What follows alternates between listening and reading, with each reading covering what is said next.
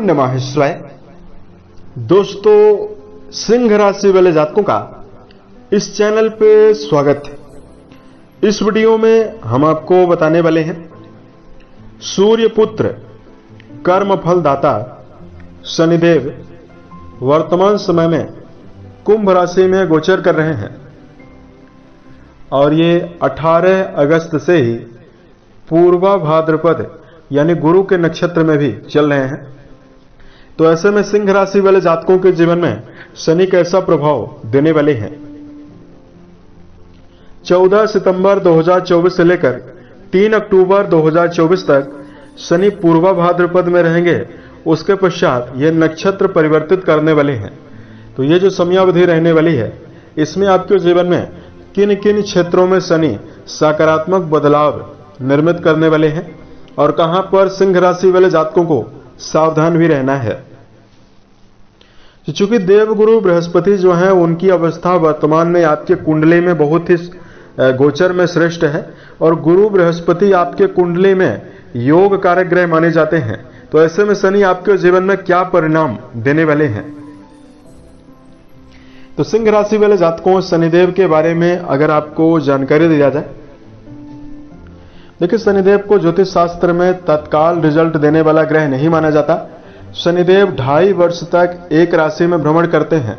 इसलिए शनिदेव जीवन में जब भी इनका प्रभाव चलने लगता है या प्रभाव देने लगते हैं तो एक निश्चित समयावधि के पश्चात शनिदेव का काफ़ी लंबे समय के लिए प्रभाव जीवन में आता है और उसमें शनिदेव अगर कष्ट देने लगते हैं तो कई प्रकार की समस्याएँ होती है और जीवन में सुख देने लगते हैं तो कई सुखों को भी शनि देते हैं।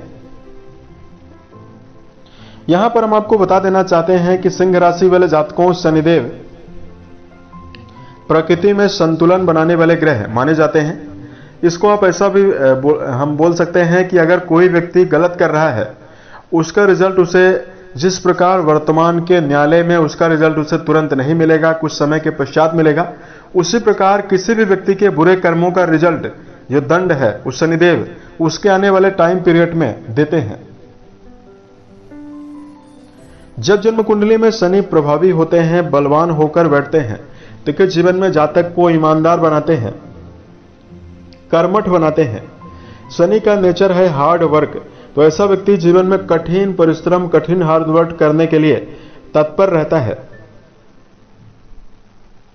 जन्म कुंडली में शनिदेव की प्लेसमेंट भी अगर काफ़ी शुभ हो तो कई भवन, कई भूमि और कई वाहन का ऐसा व्यक्ति मालिक बनता है। बलवान शनि के प्रभाव से राजनीति में भी सफलता मिलती है, तथा ऐसे व्यक्ति के अंडर में कई लोग काम करते हैं। यही शनि अगर कुंडली में पीड़ित हो जाते हैं, खराब होते हैं, और व्यक्ति के कर्म भी खराब हों तो कई असाध्य बीमारियाँ चलती है, जैसे लकवा की समस्या, पेट दर्द, कैंसर, मानसिक अवसाद शनि के दुष्प्रभाव से मिलता है। शनि पीड़ित हो तो भवन में आग लग जाती है जो धन होता है व्यक्ति के पास, जो पैसा रखा हुआ होता है, वो किसी प्रकार से नष्ट हो जाता है।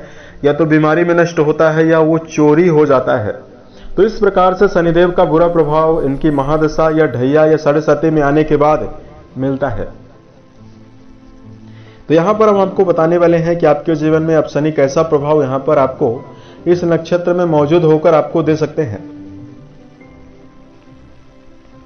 सिंह राशि वाले जातकों की जानकारी जो है वो आपके चंद्र राशि के ऊपर प्रभावी है। आप लोग इसे इसी आधार पर देखें। तो सिंह राशि वाले जातकों शनिदेव 14 सितंबर को आपके सप्तम घर में रहेंगे और 14 सितंबर से लेकर पूर्वा भाद्रपद नक्षत्र में ये 3 अक्टूबर तक आपके सप्तम घर में ही इसी नक्षत्र में रहने वाले हैं। तीसरी दृष्टि आपके भाग्य भाव पर जाने वाली है। सातवीं दृष्टि जो है वो आपकी राशि के ऊपर पड़ेगी और इनकी दसम दृष्टि जो है वो आपके राशि के सुख भाव पर जाने वाली है। यहाँ पर सिंह राशि वाले जातकों के जीवन में गुरु के नक्षत्र में प्रभावी शनि कई बदलाव आपके जीवन में करने वाले हैं। सबसे पहले तो हम आपको बता देना चाहते हैं कि जिन जातकों का जुड़ाव शिक्षा के क्षेत्र में है, एजुकेशन फ़ील्ड में जुड़े हुए जातकों के लिए यहाँ पर शुभता मिलने वाली है। यदि आप इस समयावधि में किसी भी प्रकार के परीक्षा प्रतियोगिता की तैयारी कर रहे हैं तो इस समयावधि में परीक्षा प्रतियोगिता में भी शुभता का योग बनने वाला है। इस समयावधि में हम आपको बता देना चाहते हैं कि शनि आपके केंद्र में विराजित है। ऐसे में सिंह राशि वाले जातकों के जीवन में सप्तम घर में मौजूद शनि आपके जीवन में कर्म क्षेत्र के मामले में स्ट्रगल भी देने वाले हैं।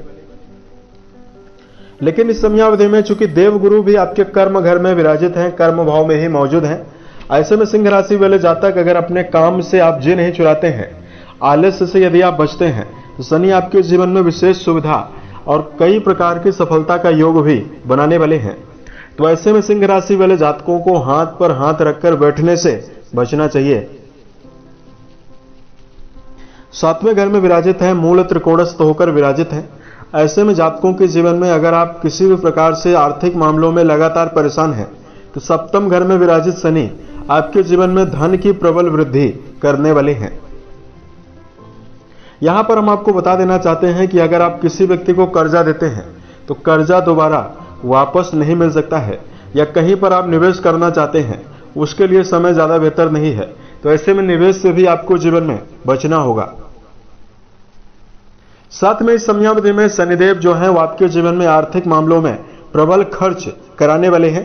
ऐसे में सिंह राशि वाले जातकों, अगर आप चाहते हैं कि भविष्य में आपका आर्थिक समन्वय गड़बड़ ना हो, इसके लिए धन का सोच विचार कर व्यय भी आपको इस समयावधि में करना है। और यहाँ पर हम आपको यह भी बता देना चाहते हैं कि शनिदेव आपके सप्तम घर में विराजित हैं और वक्री हैं।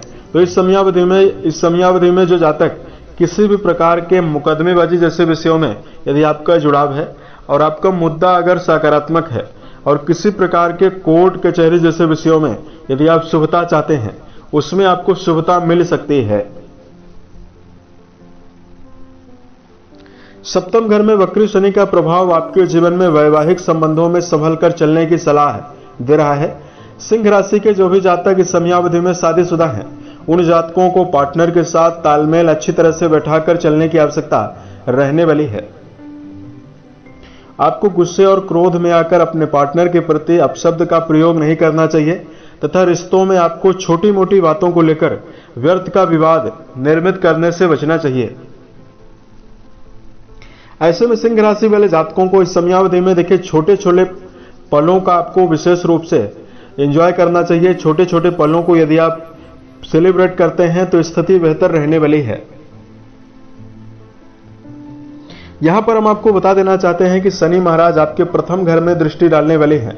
तो जो भी जातक सिंह राशि वाले जातक हैं, उनको अपने जीवन में बेकार की बातों को लेकर यदि आप चलते हैं तो आपको बुरा प्रभाव मिलने वाला है।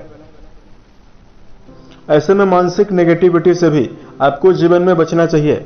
इस समयावधि में आपको अपने जीवन में सकारात्मक व्यक्तित्व के लोगों के साथ ही रहना चाहिए। अगर आप नकारात्मक वातावरण में रहने का प्रयास करते हैं, या नकारात्मक व्यक्तित्व के लोगों के साथ भी आपका समय बीत रहा है तो न केवल आपकी क्षमताएँ प्रभावित होने वाली है, बल्कि आप अपने जीवन में बड़े लक्ष्य से भी आसानी से धीरे धीरे पीछे हो सकते हैं। तो इस प्रकार का मिला जुला प्रभाव आपके जीवन में शनिदेव सप्तम घर में विराजित होकर आपको देने वाले हैं।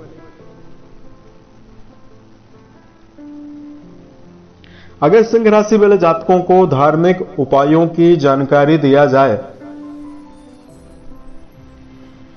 तो सिंह राशि वाले जातकों, इस समयावधि में आपको विशेष रूप से सुंदरकांड या हनुमान चालीसा का पाठ करना जीवन में शुभता देने वाला है।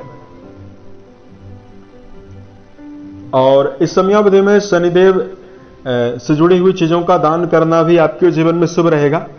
अगर आप शनिवार के दिन शनि की होरा में काली चीज़ों का दान करते हैं, काला शर्ट, काला छाता, काला जूता, बादाम,